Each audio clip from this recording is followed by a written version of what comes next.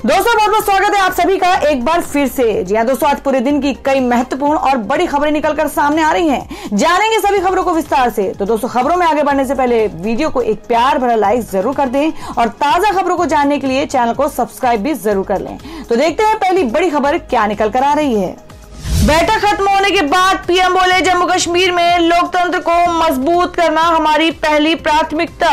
जी हाँ, आपको बता दें कि प्रधानमंत्री नरेंद्र मोदी ने कल गुरुवार को जम्मू कश्मीर के नेताओं के साथ सर्वदलीय बैठक की अध्यक्षता की और करीब साढ़े तीन घंटे तक चली इस बैठक में। पीएम मोदी ने जम्मू कश्मीर राजनीतिक अनिश्चितता के माहौल को खत्म करने के उद्देश्य से कश्मीरी नेताओं के साथ कई मुद्दों पर चर्चा की। बैठक के बाद मीडिया से रूबरू होते हुए अपनी पार्टी के नेता अल्ताफ बुखारी ने बताया कि बातचीत बड़े अच्छे माहौल में हुई और वहीं अब पीएम मोदी की तरफ़ से बैठक के बाद की पहली प्रतिक्रिया सामने आई है। जी आपको बता दें कि जम्मू कश्मीर को लेकर बुलाई गई सर्वदलीय बैठक समाप्त होने के बाद पीएम मोदी ने ट्वीट कर कहा कि वे दिल्ली और दिल की दूरी को खत्म करना चाहते हैं। उन्होंने कहा कि जम्मू कश्मीर के राजनीतिक नेताओं के साथ आज की बैठक एक विकसित और प्रगतिशील जम्मू कश्मीर की दिशा में चल रहे प्रयासों में एक महत्वपूर्ण कदम है, जहाँ सर्वांगीण विकास को आगे बढ़ाया गया है। पीएम ने आगे कहा कि हमारी प्राथमिकता जम्मू कश्मीर में जमीनी स्तर पर लोकतंत्र को मज़बूत करना है, परिसीमन तेज गति से होना चाहिए ताकि चुनाव हो सके और जम्मू कश्मीर को एक चुनी हुई सरकार मिले जो प्रदेश के विकास पथ को मजबूती दे। शिवसेना ने कसा राहुल गांधी पर तंज, कहा, ट्विटर पर पीएम की आलोचना से कुछ नहीं होगा, ज़मीन पर उतरिए। जी हम बात करें कि महाराष्ट्र में शिवसेना और कांग्रेस के बीच जुबानी जंग थमती हुई नज़र नहीं आ रही है। हाल ही में कांग्रेस के प्रदेश अध्यक्ष नाना पटोले ने जब बयान दिया कि आगामी विधानसभा चुनाव में उनकी पार्टी अकेले ही उतरेगी तो राज्यसभा सांसद संजय राउत ने भी पलटवार करके पलटवार करने में देर नहीं लगाई और कहा कि शिवसेना भी अपनी लड़ाई अकेले लड़ना जानती है। अब कांग्रेस एक बार फिर से शिवसेना के निशाने पर है। अपने मुखपत्र सामना में संजय राउत ने कांग्रेस पर तंज कसते हुए लिखा कि राहुल गांधी केवल ट्विटर पर ही एक्टिव रहते हैं। जी आपको बता दें कि संजय राउत ने अपने संपादकीय में लिखा कि कल हमारी पार्टी का पचपनवा स्थापना दिवस है था और मुख्यमंत्री शिवसेना के अध्यक्ष उद्धव ठाकरे ने महाराष्ट्र में अकेले चुनाव लड़ने की बात कर रहे लोगों के लिए कहा कि अगर वे ऐसा करेंगे तो फिर हम क्या करेंगे? क्या हम बैठे रहेंगे? जो अकेले चुनाव लड़ना चाहते हैं उन्हें लड़ने दीजिए। कांग्रेस के सांसद राहुल गांधी को भी सलाह है कि वो केवल ट्विटर पर प्रधानमंत्री नरेंद्र मोदी की आलोचना तक ही सीमित न रहे, बल्कि ज़मीन पर उतरे। राहुल गांधी को विपक्ष के सभी नेताओं को साथ लाने की कोशिश करनी चाहिए। दोस्तों, अगर आप भी अपने गाँव, शहर या राज्य की खबर देखना चाहते हैं तो कमेंट में अपने गाँव, शहर या राज्य का नाम ज़रूर लिखें।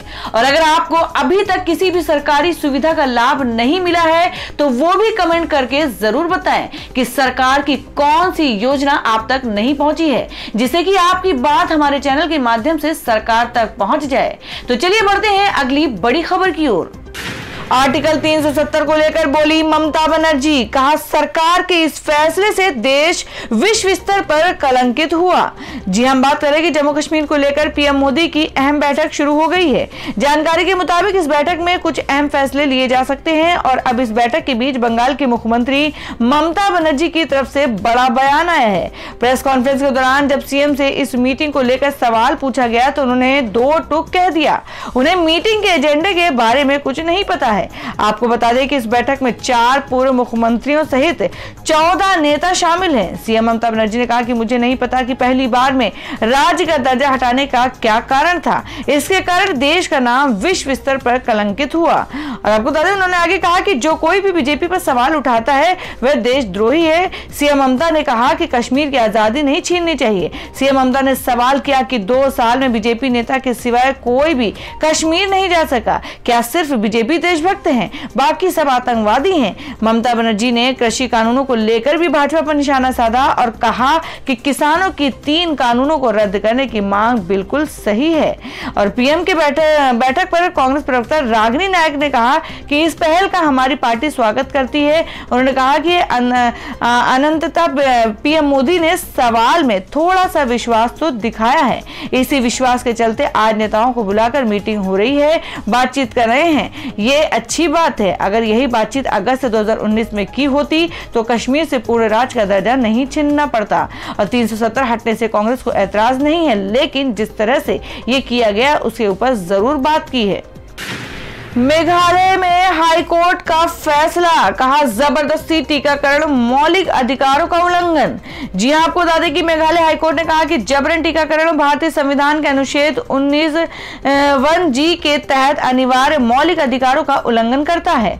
अदालत ने कहा कि दुकानदारों, टैक्सी चालकों आदि को अपने व्यवसाय या पेशों को फिर से शुरू करने के लिए एक शर्त के रूप में टीका लगाने के लिए मजबूर करना, इससे जुड़े कल्याण के मूल उद्देश्य को प्रभावित करता है। अदालत ने एक स्वतः संज्ञान जनहित याचिका में ये टिप्पणी की और पीठ ने कई अदालती आदेशों का हवाला देते हुए कहा कि बल द्वारा टीकाकरण को हतोत्साहित किया गया है। पीठ के आदेश में शारीरिक स्वतंत्रता से संबंधित मामलों पर भी प्रकाश डाला गया। मुख्य न्यायाधीश विश्वनाथ सोम, सोमददर और न्यायमूर्ति एच एस थांगख्यू के पीठ ने यह भी कहा कि टीकाकरण समय की आवश्यकता है और कोविड 19 महामारी के प्रसार को रोकने के लिए एक आवश्यक उपाय है। हालाँकि पीठ ने ज़ोर देकर कहा कि राज्य सरकार ऐसी कोई कार्रवाई नहीं कर सकती है, जो संविधान के अनुच्छेद 19 ए के तहत निहित आजीविका के मौलिक अधिकार का उल्लंघन करे। कोर्ट ने अपने फैसले में बढ़ा के बढ़ा की पढ़ा कि लगभग 107 साल पहले न्यूयॉर्क हॉस्पिटल्स के श्वेंड्रोफ वी सोसाइटी में एनवाई जस्टिस कार्डोजो ने फैसला सुनाया था कि वयस्क वर्षों और स्वस्थ दिमाग के प्रत्येक इंसान को ये निर्धारित करने का अधिकार है कि उनके शरीर के साथ क्या किया जाना चाहिए। फाइजर का दावा, कोरोना के डेल्टा वेरिएंट के खिलाफ मेरी वैक्सीन 90 प्रतिशत तक प्रभावी। जी हाँ, आपको बता दें कि कोविड की संभावित तीसरी लहर के चिंताओं के बीच देश में डेल्टा प्लस वेरिएंट के मामलों ने लोगों की चिंता को बढ़ा दिया है। और इसी बीच कोरोना वायरस का टीका बनाने वाली अमेरिकी कंपनी फाइजर ने कहा है कि उसकी वैक्सीन कोविड 19 के डेल्टा वेरिएंट के खिलाफ अत्यधिक प्रभावी है। बता दें कि फाइजर कोरोना वैक्सीन की सप्लाई के लिए भारत के साथ एक समझौता करने के अंतिम चरण में है। भारत में दूसरी लहर के पीछे डेल्टा वेरिएंट को माना जाता था। वेरिएंट का एक दूसरा म्यूटेंट डेल्टा प्लस भारत के अलावा यूके और यूएस सहित कुछ अन्य देशों में भी रिपोर्ट किया गया है। नए वेरिएंट मिलने के बाद से भी वैक्सीन बनाने वाली कंपनियाँ ये रिसर्च करने में जुड़ गई हैं कि उसका टीका इनके खिलाफ कितना प्रभावी है। राइटर्स ने कहा है कि इसराइल में फाइजर के चिकित्सा निदेशक एलोन रेपोपोर्ट ने स्थानीय प्रसारक आर्मी रेडियो को बताया है कि लैब में चल रही रिसर्च के अनुसार कोरोना वायरस डेल्टा वेरिएंट के खिलाफ उसकी वैक्सीन 90 फ़ीसदी तक प्रभावी है। फाइजर के इस बयान से भारत सरकार को भी राहत मिलेगी। फाइजर भारत में टीके की आपूर्ति के लिए पूरी तरह तैयार है, उसे सरकार से अनुमति का इंतज़ार है। अगर फाइजर वैक्सीन देश को मिल जाती है तो ऐसे में भारत में व्यापक स्तर पर चल रहे टीकाकरण अभियान को और गति मिलेगी। केंद्रीय स्वास्थ्य मंत्रालय ने कहा कि भारत के टीकाकरण अभियान का हिस्सा रहे दो टीके कोविडशील्ड और कोवैक्सीन, दोनों डेल्टा वेरिएंट के खिलाफ प्रभावी हैं। भारत में फ़िलहाल तीन वैक्सीन कोविडशील्ड कोवैक्सीन और स्पुतनिक वी को इमरजेंसी उपयोग की मंजूरी मिली है। 5G को लेकर रिलायंस का बड़ा ऐलान। कहा, देश में सबसे पहले देगा ये सर्विस, मिलेगी एक जीबीपीएस की स्पीड। जी आपको बता दें कि रिलायंस इंडस्ट्री ने आज अपने एनुअल जनरल मीटिंग में कई बड़ी घोषणाएँ की। कंपनी ने जियो फ़ोन नेक्स्ट का ऐलान किया तो वहीं ग्रीन एनर्जी जैसे बड़े प्रोजेक्ट को लॉन्च किया। और वहीं फाइव नेटवर्क को लेकर भी कंपनी के चेयरमैन मुकेश अंबानी ने बड़ा ऐलान किया है। मुकेश अंबानी ने कहा कि देश की पहली फाइव सर्विस रिलायंस देगी। उन्होंने कहा कि रिलायंस देश में सबसे पहले 5G नेटवर्क लेकर आएगा, जिसके तहत लोगों को वन जीबीपीएस की स्पीड से इंटरनेट की सुविधा मिलेगी। मुकेश अम्बानी ने कहा कि जियो भारत को 2G से मुक्त कर 5G से युक्त करेगा। केआरके को झटका। कोर्ट ने सलमान खान के खिलाफ वीडियोस, कमेंट्स पोस्ट करने से रोका। जी आपको बता दें कि कमाल राशिद खान उर्फ़ केआरके और एक्टर सलमान खान के बीच चल रहा विवाद लगातार सुर्खियों में है। इसी बीच इस मामले में केआरके को बड़ा झटका लगा है। जी हाँ बुधवार को मुंबई कोर्ट ने कमाल राशिद खान पर अस्थायी रूप से प्रतिबंध लगा दिया। कोर्ट ने कहा कि वह सलमान खान के बारे में अपमानजनक सामग्री न पोस्ट करें। हालाँकि केआरके के पास अभी इसकी कॉपी नहीं आई है। के का कहना है कि उन्होंने कभी सलमान के बारे में कुछ गलत नहीं कहा है। वह तो बल्कि उनकी फ़िल्मों के सिर्फ़ रिव्यू देते थे। सलमान खान ने कमाल खान के खिलाफ उनके द्वारा पोस्ट किए गए अपमानजनक ट्वीट और वीडियो के लिए मुकदमा दायर किया है। डीएसके लीगल के माध्यम से दायर मुकदमे में दावा किया गया है कि मान हानिकारक टिप्पणी करने के अलावा कमाल खान ने सलमान खान के पंजीकृत ट्रेडमार्क बीइंग ह्यूमन पर धोखाधड़ी, हेरफेर और धनशोधन में शामिल होने का भी आरोप लगाया है। हाईकोर्ट में महाराष्ट्र सरकार ने कहा कि मुंबई में 2000 से ज़्यादा लोग हुए फर्जी टीकाकरण के शिकार। जी हाँ, आपको बता दें कि महाराष्ट्र की राजधानी मुंबई में 2000 से ज़्यादा लोग फर्जी तरीके से कोरोना टीकाकरण कर रहे सेंटरों का शिकार बने हैं। गुरुवार को राज्य की उद्धव ठाकरे के नेतृत्व वाली सरकार की ओर से बॉम्बे हाईकोर्ट को ये जानकारी दी गई है। राज्य सरकार के वकील मुख्य लोक अभियोजक दीपक ठाकरे ने अदालत में कहा कि शहर में अब तक नौ फर्जी कोरोना वैक्सीनेशन शिविर शिविर लगाए जाने के मामले सामने आ चुके हैं। हाईकोर्ट मामले की अगली सुनवाई उनतीस जून को करेगा। कोर्ट ने अगली सुनवाई पर राज्य सरकार और बीएमसी को अदालत के सवालों और निर्देशों से संबंधित पर हलफनामा दाखिल करने को कहा है। दीपक ठाकरे ने बताया कि इस मामले में पुलिस अब तक चार अलग अलग एफ़ दर्ज कर चुकी है और जाँच में जुटी है। राज्य सरकार की ओर से मुख्य न्यायाधीश दीपांकर दत्ता और न्यायमूर्ति जी एस कुलकर्णी की पीठ के सामने इस मामले की जाँच पर स्टेटस रिपोर्ट भी सब सबमिट की गई है। महाराष्ट्र सरकार के वकील ने अदालत को बताया कि पुलिस ने अब तक के 400 गवाहों के बयान दर्ज किए हैं और जांचकर्ता आरोपी चिकित्सक की खोज की जा रही है। साइकिल पर अंडा, ब्रेड बेचते नज़र आए सोनू सूद। उनका वायरल हुआ वीडियो। जी आपको बता दें कि अभिनेता सोनू सूद हर देशवासी के रियल हीरो बन चुके हैं। उनके नेक कामों के चलते फैंस उन्हें भारत रत्न से सम्मानित करने की मांग भी कर चुके हैं। पिछले साल से लगातार सोनू सूद मदद का सिलसिला कायम रखते हुए अभी भी सोनू सूद सोशल मीडिया के माध्यम से लोगों की मदद कर रहे हैं। लेकिन सोशल मीडिया पर सोनू सूद फ़िलहाल एक वीडियो वायरल हो रहा है, जिसमें वे अंडे और ब्रेड साइकिल पर बेचते नज़र आ रहे हैं। इंस्टाग्राम पर सोनू सूद ने खुद एक वीडियो शेयर किया और इस वीडियो में सोनू सूद अंडा और ब्रेड साइकिल पर बेचते दिख रहे हैं। वीडियो शेयर करते हुए वे लिखते हैं कि फ्री होम डिलीवरी 10 अंडे पर एक ब्रेड फ्री। जी आपको बता दें सोनू सूद ने बताया कि वे अपना सुपरमार्केट खोल रहे हैं। इसका नाम होगा सोनू सूद का सुपरमार्केट। कुछ लोगों का कहना है कि मॉल बंद हो गए हैं। लीजिए, सबसे ज़रूरी सामान और महँगी सुपरमार्केट तैयार है। मेरे पास सब कुछ है। ब्रेड से लेकर रस्क आदि। होम डिलीवरी के लिए भी मैं तैयार हूँ। जल्द ही ऑर्डर करें, लेकिन ध्यान रखिए, होम डिलीवरी का पैसा लगेगा।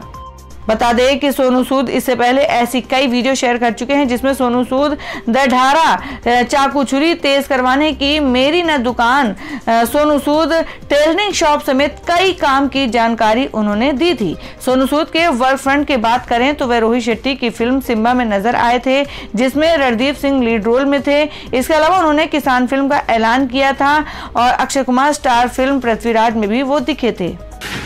ट्रेन यात्रियों के लिए एक बड़ी खबर निकल कर आ रही है, जिसमें यात्रीगण नोट कर ले कि रेलवे ने शुरू की शताब्दी समेत सत्रह स्पेशल ट्रेनें। जी आपको बता दें कि ट्रेन से यात्रा करने वालों के लिए खुशखबरी है।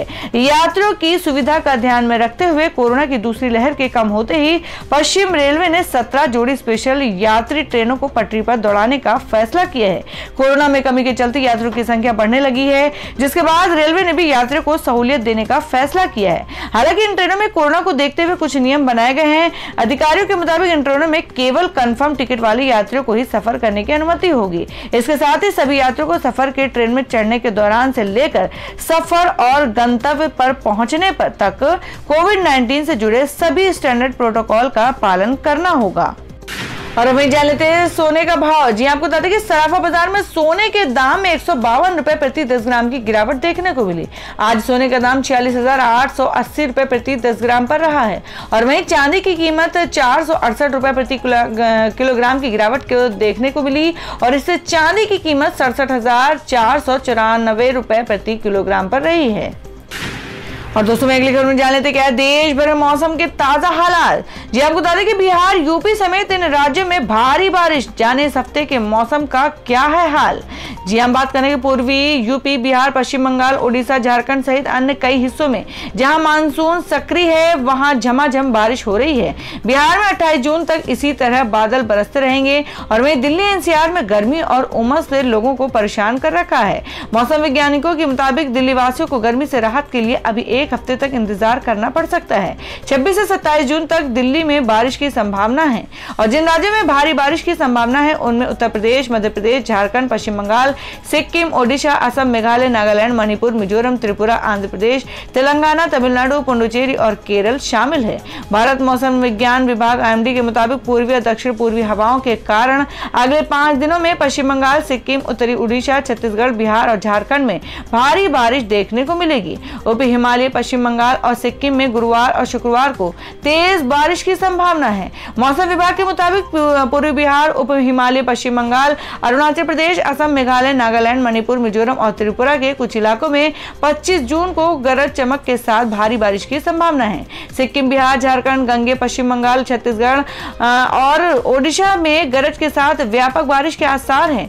पूर्वी उत्तर प्रदेश, पूर्वी मध्य प्रदेश, महाराष्ट्र, तेलंगाना तटीय आंध्र प्रदेश, गोवा तटीय कर्नाटक, अंडमान और निकोबार द्वीप समूह और लक्षद्वीप में छिटपुट बारिश और गरज के साथ छींटे पड़ने की संभावना है। लद्दाख में छिटपुट बारिश या हिमपात और गरज के साथ छींटे पड़ने की संभावना है।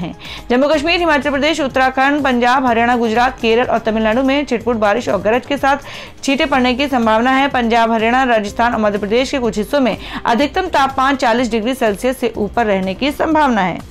तो दोस्तों, ये थी अब तक की सभी बड़ी खबरों की अपडेट्स। टुडे ब्रेकिंग न्यूज़ और लेटेस्ट खबरों को देखने के लिए हमारे चैनल को सब्सक्राइब ज़रूर कर लें। वीडियो को लाइक और शेयर भी ज़रूर कर दें अपने दोस्तों और रिलेटिव्स के साथ। तो दोस्तों, फिर मिलेंगे काम की खबरों और सरकारी योजनाओं की एक और नई वीडियो के साथ। तब तक के लिए धन्यवाद दोस्तों।